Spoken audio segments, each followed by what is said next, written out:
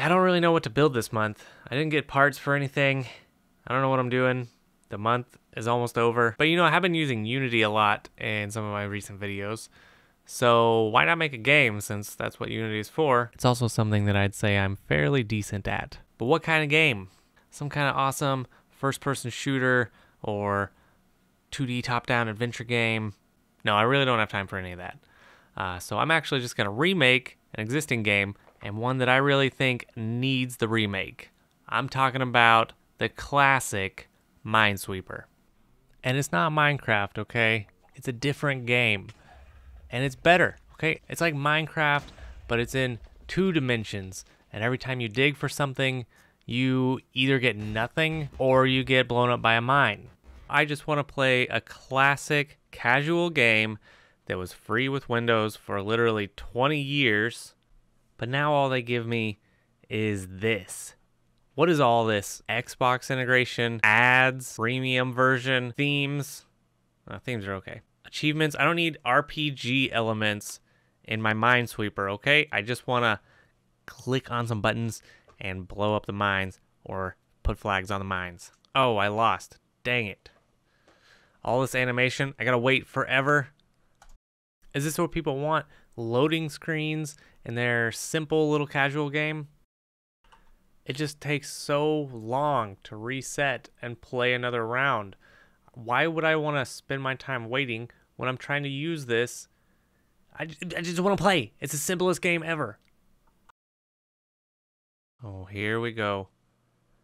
Now I've played too many times, and I gotta watch a stupid video before I can even keep playing. So obviously the internet has nothing to offer me to play this game, and any other way that is free of ads and all this extra junk. That's sarcasm, okay? Before the comments fill up with it, I know there are alternatives to playing Minesweeper besides the terrible Windows version, okay? So anyway, the only choice I have clearly is to just rebuild this whole game from scratch in Unity. So let's get started. So realize that everybody might not know how Minesweeper works.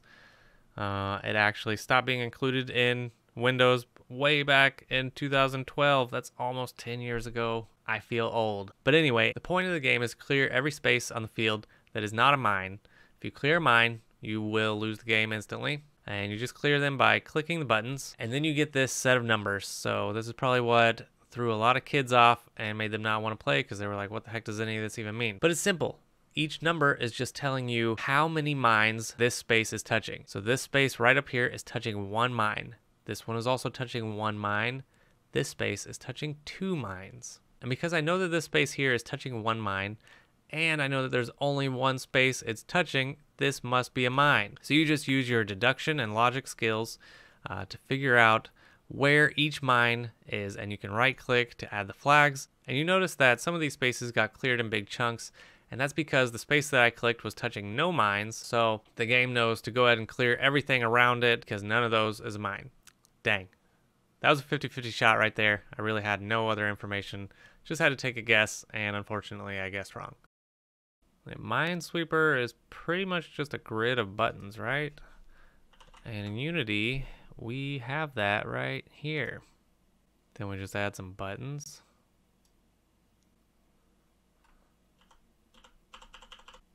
And I think we're done. Minesweeper, I think, is a pretty good example of a practical use of recursion. And if you don't know, recursion is just where you have a function that calls itself. And to avoid an infinite loop, you have some sort of end condition which stops the function from being called. If I click on a space, then I'm going to check on how many mines surround that space. Okay, so this one has two around it.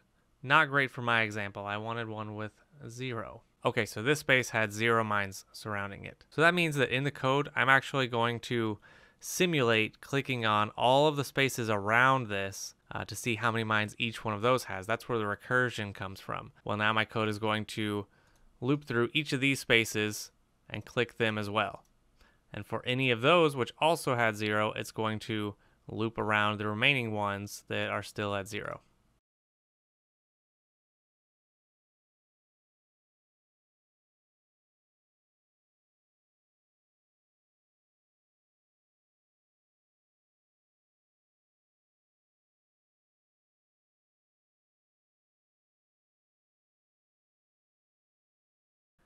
Yeah, so doing that manually is pretty time consuming and tedious. But the code will handle this in the end, and it will appear to happen instantaneously. Let's take a quick look. Look at that. Something is wrong with this algorithm. That should never happen in Minesweeper. Neither should that. That's looking a little more accurate. Hey, look at that. That looks like Minesweeper.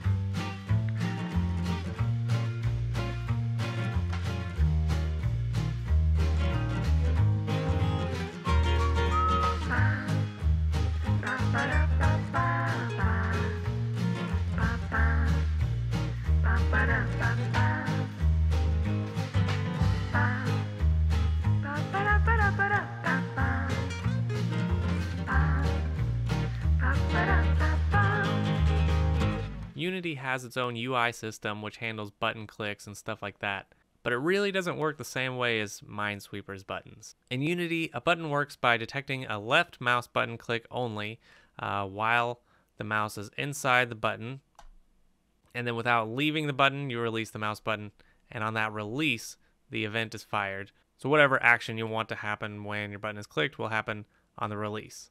Uh, Minesweeper has a pretty different way of working. I'm talking about classic Minesweeper. I don't know.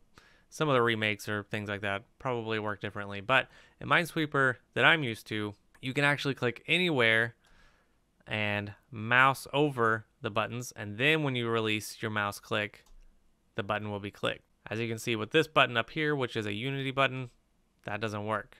So in order to do this, I actually wrote my own button class, which I called multifunction button and it gives events for when you press down on the button, when you release the button, and also an event when the button is held. And one more thing I did is I made it so that you can detect left, right, or middle mouse clicks, because not only are the Minesweeper buttons clicked uh, with the left mouse button in order to check them, you can also place flags and question marks with the right mouse button, and that works differently. It does not work on the button up. It actually works instantly when you press down on the mouse button. So for each button in the minefield, I actually add two instances of the multifunction button class. Uh, one to handle all the left clicking functionality and a second one to handle the right click functionality.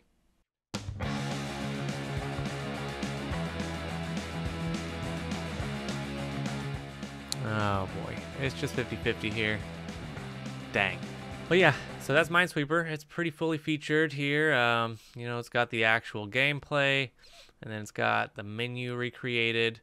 Uh, I've even got some custom sounds that I made.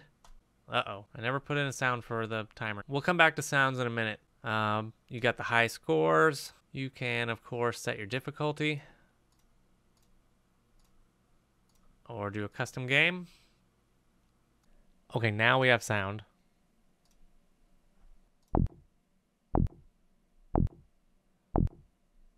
Isn't that relaxing?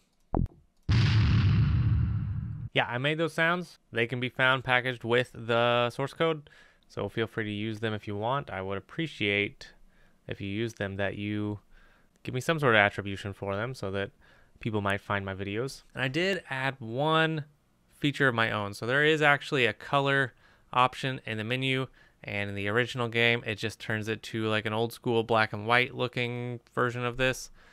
But instead of doing that, I went ahead and made a custom skin uh, for mine.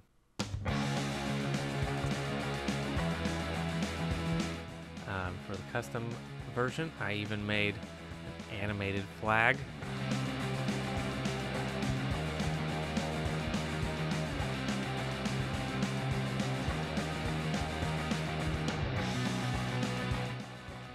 And when you lose, skulls, of course. It needs to be skulls. And you can switch the skin at any time. So let me show you a little bit about how the style switch stuff works. I made these scriptable objects, which in Unity are just custom assets uh, that can have whatever data you want in them, but they live in the assets folder rather than in your runtime game hierarchy. So I have one, which is the default style, and then I created another one, which is the all parts combined style. Styles just have sets of different attributes. Uh, what do you want images to look like, text to look like, buttons, uh, and then my custom ones, multifunction button and uh, animated images, which I use for the animated flag. And each of these is just a list uh, of different data structures. Uh, so if we take a look, for instance, at uh, the mine under image attributes, so its ID is called mine and then I can indicate if I want to set the color of this uh, image to something different and if I want to set the sprite to something different uh, when I switch to this style. Uh, so in this case, I'm only setting the sprite and I'm setting it to this, the mine sprite. Now we look at the uh, all parts combined style. We look at the mine. Once again, I'm just setting the sprite and in this case, I'm setting it to the mine APC sprite, which is our skull. And it's similar for text. I just have a bunch of different tagged types of text. Um, and for each of those, I might set the color or the font or the font size. Buttons get a little bit more complicated because you've got either sprite swapping or tinting uh, during the button click transitions. Now, if we look over at the actual game hierarchy, uh, and I'll note that Minesweeper is 100% UI. There's actually nothing happening in 3D space around it. It's just a canvas with some UI elements and that's it.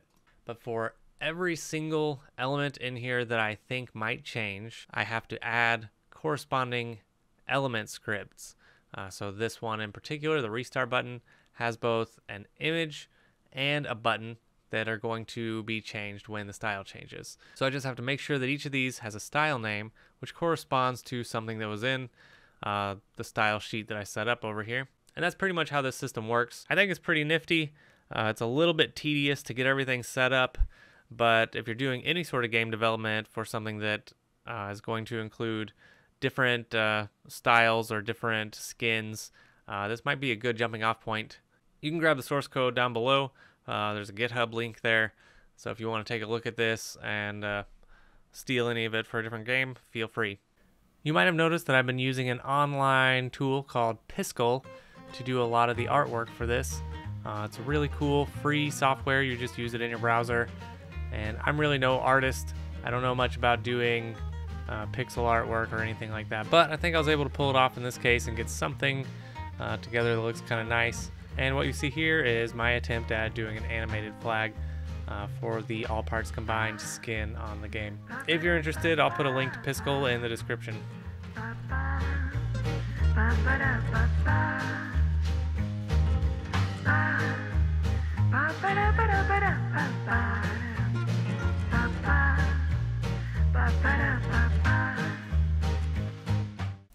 So there you have it. that's Minesweeper. I mean, it's not perfect down to every last detail, but I think I got it pretty close. Uh, and honestly, I haven't had time to fully test out everything and make sure there are no bugs.